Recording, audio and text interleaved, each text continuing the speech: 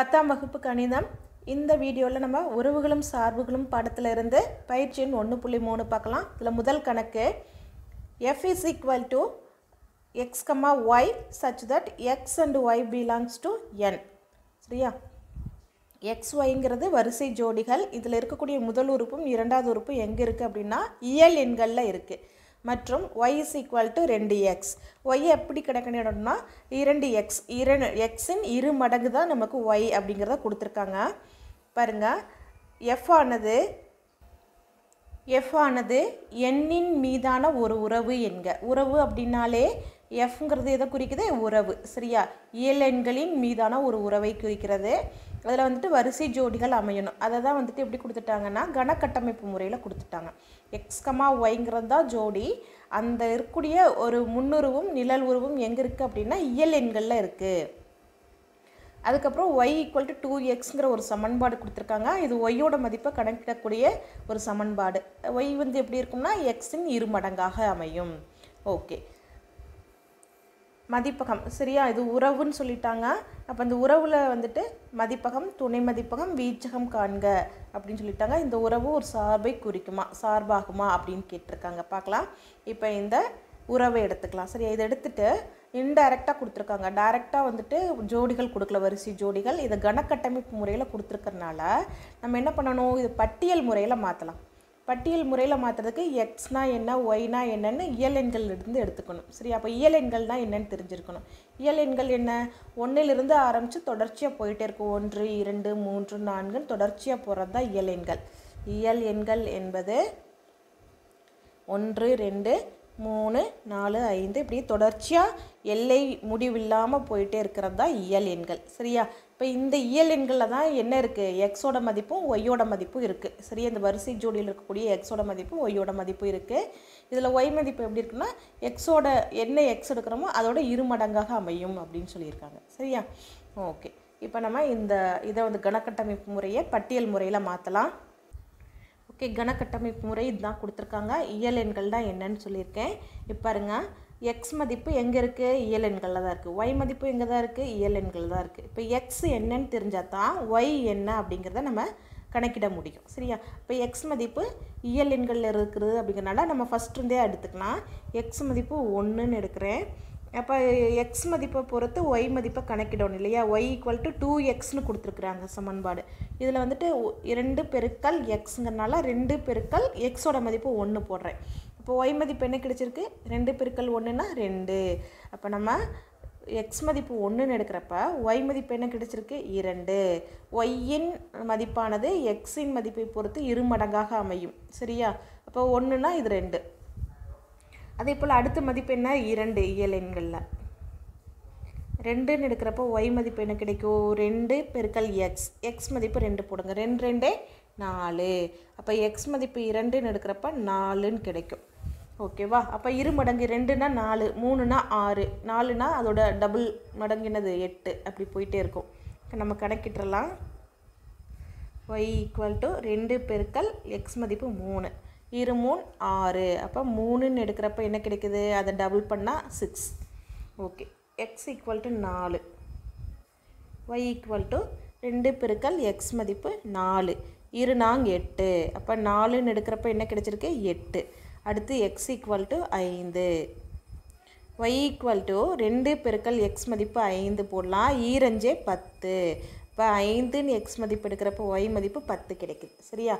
இது மாதிரி நம்மளுக்கு முடிவே இல்லை இல்லையா? நம்ம இது வந்து ஒன்றுலேருந்து ஆரம்பித்து எடுத்துகிட்டே போயிட்டே இருக்கலாம். இயல் எண்களுக்கு முடிவே இல்லை அப்படிங்கிறனால இங்கேயும் நம்ம ஸ்டாப் பண்ணவே தேவையில்லை. இது எப்படி போயிட்டுருக்கோம் கண்டினியூஸாக போயிட்டே இருக்கும். நமக்கும் ஒய் மதிப்பும் கிடச்சிட்டே இருக்கும். இங்கேயும் ஜோடிகள் அமைஞ்சிட்டே தான் இருக்கும். சரியா? பாருங்கள் அடுத்த ஜோடி என்னவாக இருக்கும்? ஆறுன்னு எடுத்தால் பன்னிரெண்டு கிடைக்கும். ஏழுன்னு எடுத்தால் பதினாலு கிடைக்கும். சரி அப்படியே வந்து டபுள் ஆகிட்டே போயிட்டுருக்கும். இப்போ ஓகே வரிசை ஜோடிகள் எப்படி அமையுங்கிறத சொல்லிட்டோம். ஸோ எஃப் என்ற உறவானது எப்படி அமையும்? எஃப் இஸ் ஈக்குவல் டு ஒன்று கமா ரெண்டு. எக்ஸ் கமா ஒயின் மட்டும் கணக்கட்டமைப்பு முறையில் கொடுத்துருந்தாங்க இல்லையா? அதை பட்டியல் முறையில் எழுத போகிறோம் ரெண்டு கமா நாலு. அடுத்து மூணு கமா ஆறு. அடுத்து நாலு கமா எட்டு ஐந்து கமா பத்து. இப்படியே தொடர்ச்சியாக போயிட்டே இருக்கும். ஆறு கமா பன்னிரெண்டு ஏழு கமா பதினாலு எட்டு கமா பதினாறு. ஏன்னா டபுள் தானே. அதனால் சொல்லிகிட்டே போயிட்டே இருக்கலாம்.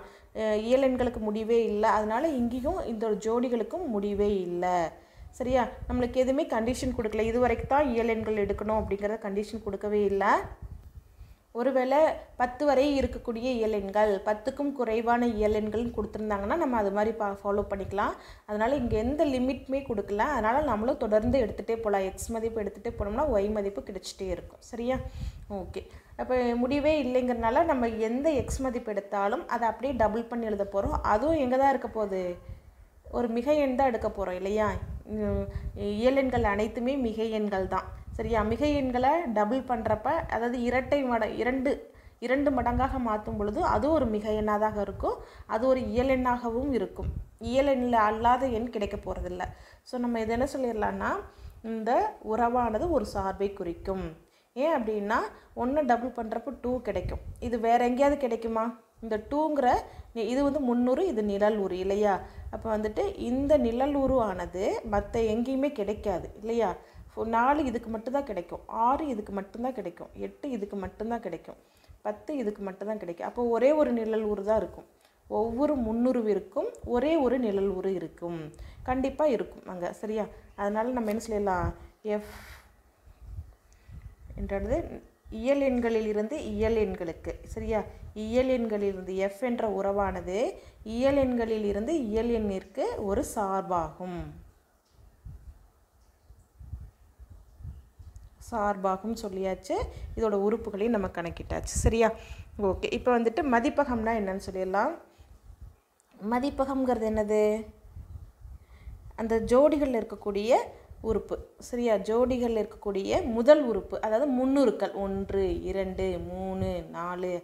இது அப்படியே எடுத்துகிட்டே போகலாம் அது இயல் எண்கள் தானே? சரியா? இயல் எண்களுக்கு முடிவே இல்லைன்னு சொல்லியிருந்தோம். அங்கேருந்து தான் நம்ம எக்ஸ் எடுத்துகிட்டே இருக்கிறோம். சரியா? அப்போ அதுக்கும் முடிவு இல்லாமல் போயிட்டே இருக்கும். இதுதான் மதிப்பகம். துணை மதிப்பகம். துணை மதிப்பகம்ங்கிறது என்னது? பாருங்க துணை மதிப்பகம்ங்கிறது என்னது அப்படின்னா நம்ம இந்த உறவு எஃப் வந்துட்டு எங்கிருந்து எதுக்கான உறவுன்னு சொல்கிறோம் இயலெண்களிலிருந்து இயலெண்களுக்கான உறவு. அப்போ மதிப்பகம் ஒரு இயலெண்களின் கணமாக இருந்துச்சுன்னா துணை மதிப்பகம் இயலெண்களின் கணமாக தான் அமையும். ஸோ அப்போ இங்கேயும் என்ன சொல்லிடலாம்? இயலெண்கள் மட்டும்தான் இருக்கும். ஒன்று இரண்டு மூன்று நான்கு ஐந்து அப்படியே தொடர்ச்சியாக போயிட்டே இருக்கக்கூடும். கூடியது தான் வந்துட்டு துணை மதிப்பகம். ஸோ மதிப்பகம் துணை மதிப்பகம் ரெண்டுமே இயலெண்களின் கணம் தான் சரியா? அடுத்து வீச்சகம். வீச்சகம் அப்படிங்கிறது என்ன அப்படின்னா இந்த ஜோடிகள் இருக்கு இல்லையா? வரிசை ஜோடிகள். வரிசை ஜோடிகளில் இருக்கக்கூடிய நிழல் உருக்கள் தான் வீச்சகம். சரியா? நம்ம சொல்லிட்டோம் ஆல்ரெடி சொல்லிட்டோம். துணை மதிப்பகம்னா இதுதானே. ஆனால் இதில் இருக்கக்கூடிய எல்லா எண்களும் குறிக்கப்படாது சரியா? இதில் இருக்கக்கூடிய சில எண்கள் மட்டும்தான் குறிக்கப்படும். அது என்ன எண்கள்? பார்த்தீங்கன்னா இரண்டு நான்கு ஆறு எட்டு பத்து பன்னிரெண்டு இரட்டைப்படை எண்கள் மட்டும்தான் குறிக்கப்படும். அந்த குறிக்கப்படக்கூடிய எண்கள் தான் நம்ம என்னன்னு சொல்லிடுறோம்? வீச்சகம். இரண்டு நான்கு ஆறு எட்டு பத்து பனிரெண்டு. அதாவது இயல் எண்களில் இருக்கக்கூடிய அனைத்து இரட்டைப்படை எண்களும் வீச்சகத்தில் வரும். சரியா? இந்த கணக்கை பொறுத்த வரைக்கும் இதுதான் மதிப்பகம் துணை மதிப்பகம் வீச்சகம். அடுத்த கணக்கு பார்க்கலாம். கணக்கு எண் இரண்டு. கணம் எக்ஸ் ஈக்குவல் டு மூன்று நான்கு ஆறு எட்டு என்க R is equal to X comma F of X வரிசை ஜோடிகளின் கணம் தான் அப்படி சொல்லியிருக்காங்க. வரிசை ஜோடிகள் வந்து எப்படி இருக்குன்னா எக்ஸும் எஃப் ஆஃப் எக்ஸு இது நிழல் உரு இது முந்நூறு இது நிழல் உரு. முந்நூறு நிழல் உரு இது ரெண்டும் சேர்ந்ததா வரிசை ஜோடி அப்படின்னு சொல்லியிருக்காங்க. அப்போ ஆர் என்ற உறவானது எப்படி சொல்லுவாங்க? X comma F of X X எங்கே இருக்குது நமக்கு கொடுக்கப்பட்ட கணம் இங்கே இருக்குது சரியா? இந்த கணத்தில் இருந்தால் அந்த ஸ்மால் எக்ஸ் எடுக்கிறாங்க. அடுத்து எஃப் ஆஃப் எக்ஸ் வந்துட்டு நமக்கு இங்கே கொடுத்துருக்காங்க இல்லையா? நிழல் உருன்னு அதை நம்ம எப்படி கணக்கிட போகிறோம் அப்படின்னா எக்ஸ் ஸ்கொயர் ப்ளஸ் ஒன் நம்ம எடுக்கிற எக்ஸுங்கிற முந்நூறுவை வைத்து தான் அதோடைய நிழல் உருவை கணக்கிட போகிறோம் சரியா? என்ற உறவானது. இதை உறவுன்னு சொல்லிட்டாங்க. கேபிட்டல் ஆர்ங்கிறது என்னது? உறவா.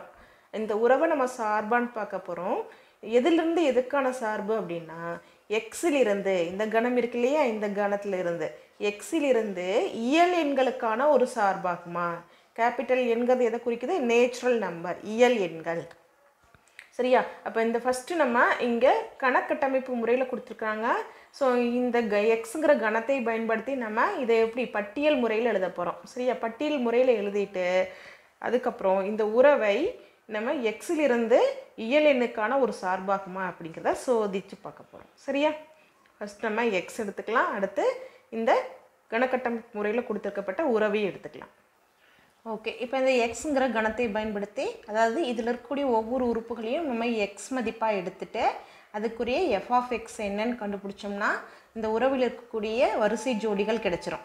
கணம் எக்ஸ் எடுத்துட்டோம் ஆறுங்க உறவுக்கான கணக்கட்டமைப்பு முறை கொடுத்துருக்காங்க. அது எடுத்துட்டோம். இந்த கணக்கட்டமைப்பு முறையை பட்டியல் முறையில் மாற்றணும் அப்போ என்ன பயன்படுத்துகிற போகிறோம் அப்படின்னா இந்த கணம் எக்ஸில் இருக்கக்கூடிய ஒவ்வொரு உறுப்பையும் ஸ்மால் எக்ஸ்னு எடுத்துக்க போகிறோம் சரியா? எக்ஸ் பிலாங்ஸ் டு எக்ஸ்ன்னு தான் கொடுத்துருக்காங்க. ஸோ அப்போ எக்ஸுங்கிற கணத்தில் இருக்கக்கூடிய ஒவ்வொரு உறுப்பும் ஸ்மால் எக்ஸ்னு எடுத்துக்க போகிறோம் அப்போ மூணுன்னா என்ன மதிப்பு கிடைக்குது? நான்குன்னா அதுக்குரிய எஃப் ஆஃப் எக்ஸ் மதிப்பு என்ன அப்படிங்கிறத கணக்கிட்டுட்டு அதுக்குரிய வரிசை ஜோடிகளை நம்ம தொகுத்து எழுத போகிறோம் அதில். சரியா?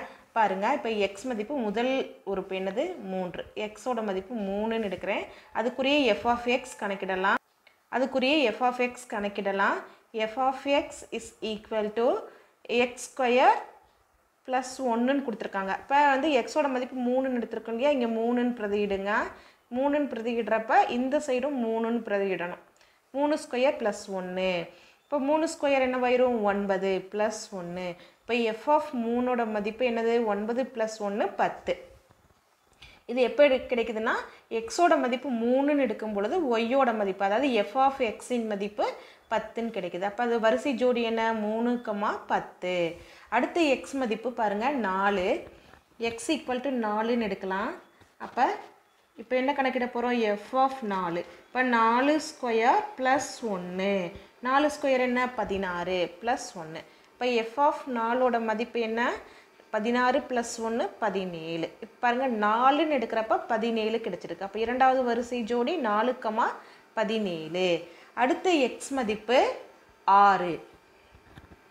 எக்ஸ் ஈக்குவல் டு ஆறு.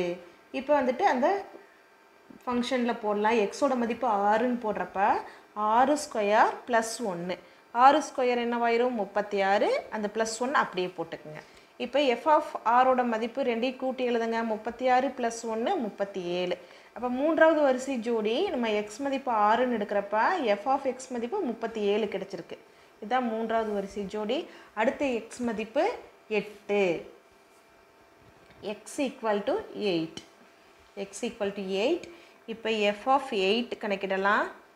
எட்டு ஸ்கொயர் ப்ளஸ் ஒன்று எட்டு ஸ்கொயர் மதிப்பு என்ன? அறுபத்தி நாலு. அந்த ப்ளஸ் ஒன் அப்படியே வரும். இப்போ எஃப் ஆஃப் எட்டு மதிப்பு இது ரெண்டையும் கூட்டி எழுதினோம்னா அறுபத்தி ஐந்து. இப்போ நான்காவது வரிசை ஜோடி எட்டு கமா அறுபத்தி ஐந்து.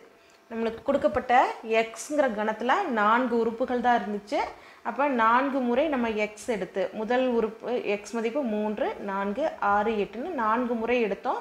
நான்கு வரிசை ஜோடிகள் கிடைச்சிருக்கு. மூணு பத்து நாலு கம்மா பதினேழு ஆறு கம்மா முப்பத்தி ஏழு அடுத்து எட்டு கம்மா அறுபத்தஞ்சு. இந்த நான்கு வரிசை ஜோடிகளை நம்ம தொகுத்து என்ன எழுத போகிறோம் ஆறுங்கிற உறவாக எழுத போகிறோம் ஆறுங்கிற உறவில் முதல் வரிசை ஜோடி மூணு கம்மா பத்து இரண்டாவது வரிசை ஜோடி நான்கு கம்மா பதினேழு மூன்றாவது வரிசை ஜோடி ஆறு கம்மா முப்பத்தி ஏழு அடுத்து வந்துட்டு எட்டு கம்மா அறுபத்தஞ்சு. இந்த நான்கு வரிசை ஜோடிகளில் தொகுத்து எழுதினோம்னா உறவு ஆர் கிடச்சிரும். சரியா? இது வந்துட்டு எழுதிட்டோம். நம்ம உறவை வந்துட்டு கணக்கட்டமைப்பு முறையில் கொடுத்துருந்தாங்க. அது பட்டியல் முறையில் எழுதிட்டோம். இதுதான் பட்டியல் முறை. இப்போ இந்த பட்டியல் முறையில் இருக்கும் பொழுது தான் நம்ம இது வந்துட்டு இது சார்பாகுமா அப்படிங்கிறத செக் பண்ண முடியும். அவங்க எப்படி கொடுத்துருக்காங்க? ஆர் என்ற உறவானது எக்ஸிலிருந்து இயல் எண் எண்ணுக்கான ஒரு சார்பாகுமா? எக்ஸுங்கிற கணத்திலிருந்து இயல் எண்ணுக்கான ஒரு சார்பாகுமா அப்படிங்கிறத செக் பண்ண சொல்லியிருக்காங்க. சரியா? அப்போ ஆறுங்கிற உறவை நம்ம அம்புக்குறி படத்தில் குறிக்கலாம். எக்ஸுங்கிறது கணம். அதில் நான்கு உறுப்புகள் தான். மூணு நாலு ஆறு எட்டு. சரியா? இந்த நான்கு உறுப்புகளை குறிக்கிறதா எக்ஸுங்கிற கணம். அது எதுக்கு சார்பாகுமான்னு கேட்டிருக்காங்க. எண்கிற இ- இயல் எண்களுக்கு சார்பாகுமா. இயல் எண்கள் எதிலிருந்து ஆரம்பிக்கும்? ஒன்று இரண்டு மூணு நாலு இப்படியே போயிட்டே இருக்கும் இல்லையா? ஓகே. இப்போ இதெல்லாம் நமக்கு இங்கே ரெண்டாவது உறுப்புகள் இருக்கு இல்லையா? நிழல் உறுப்புகள் பத்து பதினேழு முப்பத்தி ஏழு அறுபத்தஞ்சு பாருங்கள் இயலெண்கள் அப்படியே தொடர்ச்சியாக போயிட்டே இருக்கும். அப்போ போகிறப்ப நமக்கு பத்து பதினேழு முப்பத்தி ஏழு அறுபத்தஞ்சு கண்டிப்பாக கிடைக்கும். சரியா? அப்படி போயிட்டுருக்க பாருங்கள் பத்துங்கிற எண் கிடைக்கும். அப்படியே போயிட்டு இருந்தோம்னா என்ன கிடைக்கும் பதினேழும் கிடைக்கும். அதுக்கு அப்படியே போயிட்டே இருந்தோம்னா முப்பத்தி ஏழும் கிடைக்கும் அறுபத்தஞ்சும் கிடைக்கும். தொடர்ச்சியாக போயிட்டே தான் இருக்கும். ஸ்டாப் ஆகாது. சரியா? அப்போ எல்லா எண்களுமே எங்கே இருக்கும்? இயல் எண்களில் இருக்கும். இந்த அனைத்து எண்களுமே நம்ம குறிக்கலாம். பாருங்கள் மூன்றுங்கிற இப்போ இங்கே இருக்கக்கூடிய அனைத்து எண்களும் என்ன சொல்லுவோம் நம்ம? முன்னுருக்கள்னு சொல்லுவோம். எக்ஸில் இருக்கக்கூடிய அனைத்து முன்னுருக்களுக்கும் ஒரு நிழல் உரு இருக்கணும். ஒரே ஒரு நிழல் உரு இப்போ மூணுக்கு பத்துங்கிற நிழல் உரு இருக்குது நாலுக்கு பதினேழுங்கிற நிழல் உரு இருக்குது ஆறுக்கு முப்பத்தி ஏழுங்கிற நிழல் உரு இருக்குது எட்டுக்கு முப்பத் அறுபத்தஞ்சுங்கிற நிழல் உரு இருக்குது இப்போ இங்கே இருக்கக்கூடிய அனைத்து முன்னுருக்களுக்கும் ஒரே ஒரு நிழல் உரு இருக்குது அப்போ நம்ம என்ன சொல்லிடலாம்? ஆர் என்ற உறவானது சார்பை குறிக்கும். ஆர் என்ற உறவானது சார்பை குறிக்கும்.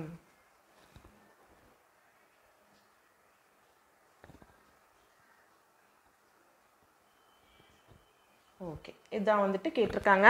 கண்டிப்பாக ஆர் என்ற உறவானது எக்ஸிலிருந்து இயல் எண்ணுக்கான ஒரு சார்பு ஆகும். சரியா? இதுதான் அதுக்குரிய ஆன்சர் அடுத்த கணக்கு பார்க்கலாம். கணக்கு எண் மூணு கொடுக்கப்பட்ட சார்பு எஃப் ஆனது எக்ஸிலிருந்து எக்ஸ் ஸ்கொயர் மைனஸ் ஐந்து எக்ஸ் ப்ளஸ் ஆறுக்கு சார்பு எனில் எஃப் ஆஃப் மைனஸ் ஒன்று எஃப் ஆஃப் ரெண்டு ஏ எஃப் ஆஃப் ரெண்டு F of X minus one ஆகியவற்றை கணக்கிடுக மதிப்பிடுக. ஓகே எக்ஸிலிருந்து இந்த கோவைக்கு வந்துட்டு சார்பாகுமான்னு கேட்டிருக்காங்க. அப்போ இது தான் எஃப் ஆஃப் எக்ஸ்னு எடுத்துக்கணும். இது எக்ஸ் அப்படின்னா இது எஃப் ஆஃப் எக்ஸ் சரியா? இப்போ எஃப் ஆஃப் எக்ஸுங்கிறது என்னது? அந்த ரெண்டாவதாக கொடுத்துருக்காங்க இல்லையா? அதுதான் எக்ஸ் ஸ்கொயர் மைனஸ் ஐந்து எக்ஸ் ப்ளஸ் ஆறு. இதுதான் எஃப் ஆஃப் எக்ஸ்னு எடுக்க போகிறோம் ஸோ இந்த எஃப் ஆஃப் எக்ஸில் வந்துட்டு எக்ஸோட மதிப்பு மைனஸ் ஒன்றுன்னு போடலாம். முதல் ரோமனில் என்ன கொஸ்டின் கேட்டிருக்காங்க? எஃப் ஆஃப் மைனஸ் ஒன்னை மதிப்பிடுக. அப்போ எக்ஸோட மதிப்பு இங்கே என்ன போட போகிறோம் மைனஸ் ஒன்றுன்னு போட போகிறோம் முதல் ரோமனில் எஃப் ஆஃப் மைனஸ் ஒன்னை கணக்கிட போகிறோம் சரியா? அப்போ இந்த ச இதில் சரியா? இந்த சமன்பாட்டில் நம்ம எக்ஸ் மதிப்பு மைனஸ் ஒன்றுன்னு போடலாம். மைனஸ் ஒன்று ஹோல் ஸ்கொயர் மைனஸ் ஐந்து பெருக்கல் மைனஸ் ஒன்று ப்ளஸ் ஆறு. ஓகே மைனஸ் ஒன்று ஹோல் ஸ்கொயர் பண்ணுறப்ப என்ன ஆயிரும்? ப்ளஸ் ஒன்று மைனஸ் அஞ்சு பெருக்கல் மைனஸ் ஒன்று மைனஸ் இன்ட்டு மைனஸ் என்ன ஆயிரும்? ப்ளஸ்ஸு அஞ்சோன் அஞ்சு ப்ளஸ் ஆறு. பாருங்கள் இந்த அனைத்து எண்களையும் கூட்டினா எஃப் ஆஃப் மைனஸ் ஒன்னோட மதிப்பு கிடைச்சிரும். இப்போ என்ன ஆயிரும்? பன்னிரெண்டு இது எல்லாத்தையும் கூட்டுறப்ப என்ன கிடைக்குது? பன்னிரெண்டு இப்போ முதல் கணக்குக்குரிய ஆன்சர் பன்னிரெண்டு அடுத்து ரோமன் டூவில் என்ன கேட்டிருக்காங்க? எஃப் ஆஃப் ரெண்டு ஏ எக்ஸோட மதிப்பு என்ன எடுத்திருக்கிறாங்க? ரெண்டு ஏன்னு எடுத்துருக்குறாங்க. அப்போ எக்ஸோட மதிப்பு ரெண்டு ஏ அப்படிங்கிறத இங்கே நம்ம பிரதையிட போகிறோம் சரியா? அப்போ எக்ஸ் ஸ்கொயருக்கு பதில் என்ன போகிறோம் ரெண்டு ஏ ஹோல் ஸ்கொயர் மைனஸ் அஞ்சு பெருக்கல் ரெண்டு ஏ ப்ளஸ் ஆறு. ஓகேவா ரெண்டு ஏ ஹோல் ஸ்கொயர் இப்போ ரெண்டையும் ஸ்கொயர் பண்ணணும் ஏவையும் ஸ்கொயர் பண்ணணும். ரெண்டு ஸ்கொயர் பண்ணுறப்ப என்ன ஆயிரும்? நாலு. ஏவை ஸ்கொயர் பண்ணோம்னா ஏ ஸ்கொயர் சரியா? அடுத்து அஞ்சு பெருக்கல் ரெண்டு என்ன ஆயிரும்? ஐ ரெண்டே பத்து இன்ட்டு ஏ ப்ளஸ் ஆறு. இப்போ இதை நம்ம சுருக்கி எழுத முடியாது. ஏன்னா இது இதில் இருக்கக்கூடிய மூன்று உறுப்புகளுமே ஒத்த உறுப்புகள் கிடையாது வேறு வேறு உறுப்புகள். இது ஏ ஸ்கொயர் இது ஏங்கிற உறுப்பு இது மாறிலி. இது நம்ம அப்படியே தான் வச்சுக்க போகிறோம் இதுதான் இதுக்குரிய ஆன்சர் ரோமன் டூக்குரிய ஆன்சர் அடுத்து ரோமன் த்ரீ ரோமன் த்ரீயில் என்ன கொடுத்துருக்காங்கன்னா எஃப் ஆஃப் ரெண்டு. எஃப் ஆஃப் ரெண்டுன்னு கேட்டிருக்காங்க. ஸோ அந்த சமன்பாட்டில் நம்ம எக்ஸ் மதிப்பு என்ன பிரதியிட போகிறோம் இரண்டு அப்படிங்கிறத பிரதியிட போகிறோம் இப்போ ரெண்டு ஸ்கொயர் மைனஸ் அஞ்சு பெருக்கல் ரெண்டு ப்ளஸ் ஆறு. ரெண்டு ஸ்கொயர் என்னவாயிரும்? நாலு. ஐ ரெண்டே பத்து. மைனஸ் அஞ்சு பெருக்கல் ப்ளஸ் ரெண்டு. ஆறு. இப்போ என்ன ஆயிரும் பாருங்க. ப்ளஸ் நாலும் ப்ளஸ் ஆறும். ஒரே குறியீடு இருக்கக்கூடியதை கூட்டிக்கலாம் இல்லையா? அப்போ இது ப்ளஸ் நாலும் ப்ளஸ் ஆறும் இருக்குது ரெண்டையும் கூட்டினா என்ன ஆயிரும்? ப்ளஸ் பத்து. அடுத்து இந்த மைனஸ் பத்து நம்ம அப்படியே தான் வச்சுருக்கோம். அடுத்த ஸ்டெப்க்கு அப்படியே கொண்டு வந்துருங்க. இப்போ ப்ளஸ் பத்தும் மைனஸ் பத்தும் என்ன ஆயிரும்? என்ன ஆயிரும்? ஆன்சர் கழிச்சிருவோம். ஜீரோ ஆகிடும் சரியா? இப்போ மூன்றாவது கணக்குக்குரிய ஆன்சர் அதான். ரோமன் நாலில் என்ன கொடுத்துருக்காங்கன்னா எஃப் ஆஃப் எக்ஸ் மைனஸ் ஒன்று கணக்கிட சொல்லியிருக்காங்க. எஃப் ஆஃப் எக்ஸ் மைனஸ் ஒன்று நம்ம கணக்கிட போகிறோம் எஃப் ஆஃப் எக்ஸ் மைனஸ் ஒன்றுங்கிறப்ப அதே சமன்பாட்டில் எக்ஸுக்கு பதிலாக நம்ம என்ன போட போகிறோம் எக்ஸ் மைனஸ் ஒன்று போட போகிறோம் அப்போ எக்ஸ் மைனஸ் ஒன்று ஹோல் ஸ்கொயர் மைனஸ் அஞ்சு பெருக்கல் எக்ஸ் மைனஸ் ஒன்று ப்ளஸ் ஆறு. A minus B whole square அப்போ ஏ ஸ்கொயர் ஏக்கு பதிலாக இங்கே என்ன இருக்குது ஏ எக்ஸ் அப்போ எக்ஸ் ஸ்கொயர் போட்டிருங்க. Minus two AB minus two into ஏக்கு பதிலாக எக்ஸ் பிக்கு பதிலாக ஒன்று அடுத்து ப்ளஸ் பி ஸ்கொயர் பி என்ன இருக்குது ஒன்று அப்போ ஒன்று ஸ்கொயர் அடுத்து மைனஸ் அஞ்சு பெருக்கல் எக்ஸ் மைனஸ் அஞ்சு எக்ஸ் மைனஸ் அஞ்சு பெருக்கல் மைனஸ் ஒன்று மைனஸ் இன்ட்டு மைனஸ் ப்ளஸ் ஆகிடும் அப்போ ஓ அஞ்சு ஒன்று அஞ்சு. ப்ளஸ் ஆறு. கடைசியாக இருக்கக்கூடிய உறுப்பு ப்ளஸ் ஆறு. இந்த உறுப்பை அப்படி இங்கே எழுதிட்டேன். ஓகே இப்போ எக்ஸ் ஸ்கொயர் இது ரெண்டு இது எல்லாத்தையும் பெருக்கினீங்கன்னா ரெண்டு எக்ஸ் மட்டும் கிடைக்கும். எழுதிக்கலாம். ஃபஸ்ட் இந்த உறுப்பு அது இதுக்கு அடுத்து பெருக்கக்கூடிய உறுப்பு ரெண்டு எக்ஸ் மைனஸ் ரெண்டு எக்ஸ் ஒன்று ஸ்கொயர் ஒன்று தான் மைனஸ் அஞ்சு எக்ஸ் அஞ்சு ப்ளஸ் ஆறு பதினொன்று சரியா? இப்போ ஒத்த உறுப்புகள் அப்படிங்கிறது வந்துட்டு இது ரெண்டும் ஒத்த உறுப்புகள் அடுத்து இந்த மாறிலி உறுப்புகள் ரெண்டும் ஒத்த உறுப்புகள். ஸோ இதுக்கு வந்து அப்படியே தான் வச்சுக்க முடியும். ஒரே ஒரு உறுப்பு தான் இருக்குது எக்ஸ் ஸ்கொயர் மைனஸ் ரெண்டு மைனஸ் அஞ்சு. இப்போ மைனஸ் ஏழு எக்ஸ் ஒத்த உறுப்புகளை கூட்டலாம் அல்லது கழிக்கலாம். இல்லையா? இங்கே கூட்டி எழுதிட்டோம் ஒரே குறியீடு. ப்ளஸ் ஒன்று ப்ளஸ் பதினொன்று என்ன ஆயிரும்? ப்ளஸ் பன்னிரெண்டு. அப்போ நான்காவது கணக்கு இதுதான் ஆன்சர் சரியா? இப்போ மூணாவது கணக்கு நம்ம முடிச்சிட்டோம். அடுத்த கணக்கு பார்க்கலாம். கொஷின் நம்பர் ஃபோர் படம் எண் ஒன்று புள்ளி பதினாறில் கொடுக்கப்பட்டுள்ள வரைபடம் எஃப் ஆஃப் எக்ஸின் மூலமாக எஃப் ஆஃப் ஒன்பது ஈக்குவல் டு ரெண்டு என்பது தெளிவாகிறது. சரியா? இந்த நாலாவது கொஸ்டினில் வந்துட்டு நான் எஃப் ஆஃப் ஒன்பது ஈக்குவல் டு ரெண்டுங்கிற இது இந்த வரைபடம் மூலம் தெளிவாக இருக்குங்கிறாங்க. பாருங்கள் எஃப் ஆஃப் ஒன்பது அப்படிங்கிறப்ப எக்ஸ் மதிப்பு என்ன? ஒன்பது. அதுக்குரிய ஒய் மதிப்பு ரெண்டு அப்படிங்கிறத நம்ம எடுத்துக்கணும். அப்போ எக்ஸ் அச்சில் ஒன்பதுக்கு நேராக ரெண்டு. இங்கே வந்து பாருங்கள் ஒய் அச்சில் ரெண்டு வந்து சந்திக்குதா? ஸோ இது தெளிவாக இருக்குது இந்த இடத்துல வந்துட்டு என்ன கிடைக்குது? ஒன்பதுங்கிற மதிப்புக்கு நேராக ஒய் மதிப்பு ரெண்டு கிடைக்குது. இதுதான் தெளிவாக இருக்குன்னு சொல்லியிருக்காங்க. அடுத்து நம்ம என்ன வந்து பார்க்கணுன்னு பாருங்கள் என்பது தெளிவாகிறது. இதுவே போல் நம்ம ரோமன் நம்பர் ஒன்றுக்கும் படத்தை வச்சே ஆன்சர் கண்டுபிடிக்க போகிறோம் பின்வரும் சார்புகளின் மதிப்புகளையும் காண்க. ஏன்னா நம்மளுக்கு எஃப் ஆஃப் எக்ஸுங்கிறதுல பாருங்க மூணாவது கணக்கில் கொடுக்கப்பட்டது போல் எதுவுமே ஒரு கோவை கொடுக்கல. ஒரு சமன்பாடோ ஒரு கோவையோ கொடுக்கல கணக்கிடுறதுக்கு. அதுக்கு பதிலாக தான் நம்மளுக்கு கிராஃப் கொடுத்துட்டாங்க வரைபடம். இந்த கிராஃபை வச்சு நம்ம இதுக்கு ஆன்சர் பண்ணிடலாம் ஃபஸ்ட்டு ரோமன் ஒன்றில் ஆ கணக்கு பாருங்கள் எஃப் ஆஃப் ஜீரோ அப்போ இங்கே எக்ஸ் மதிப்பு என்ன கொடுத்துருக்காங்க? ஜீரோ ஜீரோவுக்கு நேராக வரைபடத்தில் என்ன மதிப்பு இருக்குதுன்னு பார்க்கலாம் வரைபடத்தில் இருக்கக்கூடிய கிராஃப் இதுதான். சரியா? இதுதான் கிராஃபு இப்போ எக்ஸ் மதிப்பு ஜீரோன்னு எடுக்கிறப்ப அதுக்கு நேர் இருக்கக்கூடிய வரைபடத்தில் வந்து சந்திக்கக்கூடிய மதிப்பு என்னென்னா ஒன்பது. அதான் வந்துட்டு F of zero equal to ஒன்பது. சரியா? F of zero equal to ஒன்பது.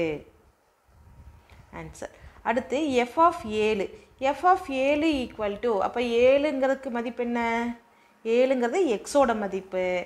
எக்ஸோட மதிப்பு ஏழுலேருந்து நேராக ஒரு செங்குத்து கோடு வரைபடம் எங்கே வரைக்கும் இருக்கோ அங்கே வரைக்கும் போடுங்க. சரியா? இந்த இடத்துல இருக்கக்கூடிய ஒய் மதிப்பு என்னன்னு பார்த்தீங்கன்னா ஆறு. சரியா? அப்போ வந்து எஃப் ஆஃப் ஏழு ஈக்குவல் டு என்னது? ஆறு. அடுத்து எஃப் ஆஃப் ரெண்டு இ கணக்கு. எக்ஸ் மதிப்பு என்ன? ரெண்டு. எக்ஸ் மதிப்பு ரெண்டு எடுங்க எக்ஸ் அச்சில். ஒரு செங்குத்து கோடு வரைபடம் வரைக்கும் போடுங்க. அதிலிருந்து ஒய் மதிப்பு என்னன்னு பார்த்தீங்கன்னா ஆறு. எஃப் ஆஃப் ரெண்டு ஈக்குவல் டு ஆறு. அடுத்து இ கணக்கு. எஃப் ஆஃப் பத்து. பத்துங்கிறப்ப எக்ஸ் மதிப்பு பத்துன்னு எடுத்துக்குவோம். இப்போ வரைபடம் இங்கே தான் வந்துட்டு கரெக்டாக இருக்குது ஸோ அதுக்கு நேர் இருக்கக்கூடிய ஒய் மதிப்பு என்னன்னு பார்த்தீங்கன்னா ஜீரோ அப்போ எஃப் ஆஃப் பத்துக்கு ஆன்சர் என்ன? ஜீரோ சரியா? இதுதான் முதல் கணக்குக்குரிய ஆன்சர் அடுத்து ரெண்டாவது கணக்கு பாருங்கள் ரோமன் ரெண்டு. எக்ஸின் எம் மதிப்பிற்கு F of X equal to ஒன்றாக இருக்கும். இப்போ என்னென்னா ஒய் மதிப்பு கொடுத்துட்டாங்க. இந்த ரோமன் ஒன்றில் எக்ஸ் மதிப்பு கொடுத்தாங்க படத்தில் ஒய் மதிப்பு கண்டுபிடிச்சோம். இப்போ என்னென்னா ஒய் மதிப்பு கொடுத்துட்டாங்க அதுக்குரிய எக்ஸ் மதிப்பு கண்டுபிடிக்கணும். இப்போ ஒய்ஹெச்சில் ஒன்று எங்கே இருக்குன்னு பாருங்கள் ஒய்ஹெச்சில் ஒன்று அதுக்கு நேராக ஒரு கிடைமட்ட கோடு வரைபடம் வரைக்கும் வரைஞ்சிட்டு அதுக்கு நேராக கீழே பார்க்கணும். கீழே பார்க்குறப்ப உங்களுக்கு என்ன கிடைக்கும் இங்கே? ஒன்பதுக்கும் பத்துக்கு இடையில கிடைக்கும் இல்லையா? அப்போ ஒன்பது புள்ளி அஞ்சு. எக்ஸ் மதிப்பு என்ன? ஒன்பது புள்ளி அஞ்சு. X is equal to nine point five இப்போ எக்ஸ் மதிப்பு கண்டுபிடிச்சிட்டு அடுத்து ரோமன் த்ரீ படம் அதாவது இதே படத்தில் தான். இந்த படத்தில் ஒன்று மதிப்பகம் இரண்டு வீச்சகம் காண்க. சரியா? மதிப்பகமும் வீச்சகமும் கண்டுபிடிக்க சொல்லியிருக்காங்க. மதிப்பகம் என்னவா இருக்கும்? இந்த அடைப்புக்குறிக்குள்ளே இருக்கு இல்லையா? இதெல்லாம் சேர்ந்தது தான் மதிப்பகம். சரியா? இப்போ இந்த வரைபடம் இருக்கிற வரைக்கும் எக்ஸ் அச்சில் என்னென்ன புள்ளிகள் இருக்கோ அதெல்லாம் வ மதிப்பகமில் வந்துடும் சரியா? பாருங்கள் வரைபடம் இங்கிருந்து ஆரம்பித்து இது வரைக்கும் இருக்குது அதுக்கு நேர் இருக்கக்கூடிய எக்ஸ் புள்ளிகள் என்னன்னு பார்த்தீங்கன்னா ஜீரோலேருந்து பத்து வரைக்கும் இருக்குது அதான் வந்துட்டு எதில் வரும்? மதிப்பகமில் வரும். இப்போ வீச்சகமில் எது வரும் அப்படின்னு பார்த்தீங்கன்னா இதுக்கு அந்த வரைபடத்துக்கு நேராக இருக்கக்கூடிய ஒய் புள்ளிகள் அனைத்துமே என்னதுதான் நமக்கு? வீச்சகத்தில் வரக்கூடியது தான் சரியா? எல்லா புள்ளிகளுக்கு நேரும் நம்மளுக்கு வரைபடம் இருக்கிறனால அது வீச்சகத்தில் வரும். சரியா? பாருங்கள் மதிப்பகம் ஜீரோ ஒன்று ரெண்டு மூணு நாலு ஐந்து ஆறு ஏழு எட்டு ஒன்பது பத்து. சரியா? அதுதான் வந்துட்டு மதிப்பகம். வீச்சகம் என்னவாக இருக்கும்? ஜீரோலேருந்து ஒன்பது வரைக்கும் இருக்கிறது வீச்சகமாக இருக்கும். சரியா? அடுத்து நான்காவது கணக்கு. எஃப் என்ற சார்பில் ஆரின் நிழல் உரு என்ன? எஃப் என்ற சார்பில் ஆரின் நிழல் உரு என்ன? அப்போ இது நிழல் உரு தான் கேட்டிருக்காங்க. அப்போ இது என்னவாக இருக்கும்?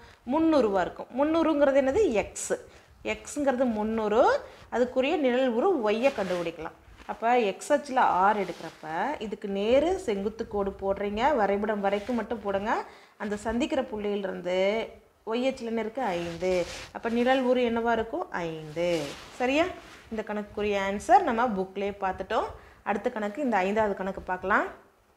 Question number five F of X equal to two X plus five என்க X not equal to zero எனில் எஃப் ஆஃப் எக்ஸ் ப்ளஸ் ரெண்டு மைனஸ் எஃப் ஆஃப் ரெண்டு பை எக்ஸ் ஐ காண்க. எக்ஸ் என்பது கண்டிப்பாக ஜீரோ இல்லைன்னு கொடுத்துட்டாங்க. ஸோ இங்கே ஜீரோங்கிற மதிப்பு தவிர ஒரு மிக எண்ணோ குறை எண்ணோ வரும். ஓகே எஃப் ஆஃப் எக்ஸ் என்ன கொடுத்துருக்காங்க? ரெண்டு X plus five F of X is equal to ரெண்டு எக்ஸ் ப்ளஸ் ஃபைவ்னு கொடுத்துட்டாங்க. ஓகே இதைத்தான் நம்ம வந்துட்டு இப்போ சால்வ் பண்ணணும். சரி இதுக்குரிய ஆன்சர் கண்டுபிடிக்கணும். அப்போ இங்கே என்னென்னு பார்த்தீங்கன்னா ஃபஸ்ட்டு வந்துட்டு இருக்கக்கூடிய சார்பானது எக்ஸ் ப்ளஸ் ரெண்டுங்கிற மதிப்புடைய இருக்குது அப்போ இங்கே எக்ஸுக்கு பதிலாக நம்ம என்ன போட போகிறோம் எக்ஸ் ப்ளஸ் ரெண்டுங்கிற மதிப்பை போட போகிறோம் அப்போ இங்கே எக்ஸ் ப்ளஸ் ரெண்டுன்னு போட்டால் இங்கேயும் ரெண்டு பெருக்கல் எக்ஸ் ப்ளஸ் ரெண்டு அப்படிங்கிறத பிரதியிட்டுறலாம். இப்போ இது ஒவ்வொரு உறுப்பு கூடையும் பெருக்கலாம். ரெண்டு எக்ஸ் ப்ளஸ் ரெண்டு பெருக்கல் ரெண்டு நாலு ப்ளஸ் அஞ்சு அப்படியே வந்துடும் சரியா? அடுத்து பாருங்கள் ரெண்டு எக்ஸ் அப்படியே வச்சுட்டு நாலு ப்ளஸ் அஞ்சு ஒன்பது. மாறிலி ரெண்டையும் கூட்டி எழுதிடலாம். ஒன்பது. இப்போ எஃப் ஆஃப் எக்ஸ் ப்ளஸ் ரெண்டுக்கு மதிப்பு என்ன கிடச்சிருக்கு? ரெண்டு எக்ஸ் ப்ளஸ் ஒன்பது. அடுத்து இதை கணக்கிட தேவையானது ரெண்டுங்கிற மதிப்பு. எஃப் ஆஃப் ரெண்டுங்கிற சார்பு. அப்போ எஃப் ஆஃப் ரெண்டுன்னு போடலாமா? எஃப் ஆஃப் ரெண்டு. எக்ஸுக்கு பதிலாக என்ன போட்டிருக்கோம்? ரெண்டு. இங்கே ரெண்டுன்னு போடலாம். இப்போ ரெண்டு பெருக்கல் ரெண்டு ப்ளஸ் அஞ்சு. ரெண்டு ரெண்டே நாலு ப்ளஸ் அஞ்சு. அப்போ என்ன ஆயிரும்? நாலு ப்ளஸ் அஞ்சு ஒன்பது. எஃப் ஆஃப் ரெண்டுக்குரிய மதிப்பு என்ன? ஒன்பது. எஃப் ஆஃப் எக்ஸ் ப்ளஸ் ரெண்டும் கண்டுபிடிச்சிட்டோம். எஃப் ஆஃப் ரெண்டும் கண்டுபிடிச்சிட்டோம். ஸோ இது ரெண்டுடைய மதிப்பு. இது இது இருக்கிற இடத்துல நம்ம இந்த மதிப்பையும் எஃப் ஆஃப் ரெண்டு இருக்கிற இடத்துல ஒன்பதுங்கிற மதிப்பையும் பிரதியிடலாம். ஸோ இதைத்தான் கணக்கிட சொல்லியிருக்காங்க. இதோட மதிப்பை கண்டுபிடிக்கலாம். இப்போ இது தனித்தனியாக நம்ம எடுத்து வச்சுருக்கோம். எஃப் ஆஃப் எக்ஸ் ப்ளஸ் டூக்கு ஆன்சர் என்னவோ அதை ஃபஸ்ட்டு நம்ம போட்டுக்கலாம். பாருங்கள் ரெண்டு எக்ஸ் ப்ளஸ் ஒன்பது. ஸோ அது இருக்க வேண்டிய இடத்துல அதோடைய ஆன்சர் போட்டுக்கலாம். அடுத்து மைனஸ் போட்டுக்கலாம். எஃப் ஆஃப் ரெண்டுக்குரிய மதிப்பு ஒன்பது. அதை போட்டுக்கலாம். பை இந்த எக்ஸோட மதிப்பு எதுவுமே இல்லை. நம்ம அப்படியே எக்ஸ்னே போட்டுக்கலாம். இப்போ பாருங்கள் தொகுதியில் ப்ளஸ் ஒன்பதும் மைனஸ் ஒன்பதும் கேன்சல் ஆயிரும். அது போக மீதம் என்ன இருக்குன்னு பார்த்தீங்கன்னா ரெண்டு எக்ஸ் பை எக்ஸ் ஓகே இப்போ இந்த இடத்துல நம்ம இந்த எக்ஸ்க்கும் எக்ஸுக்கும் நம்ம கேன்சல் பண்ணிட்டோம்னா மீதம் என்ன இருக்குது தொகுதியில் ரெண்டு. இதுதான் வந்துட்டு இதுக்குரிய ஆன்சர் சரியா? ஐந்தாவது கணக்குரிய ஆன்சர் இரண்டு that's all thank you for வாட்சிங் மை வீடியோ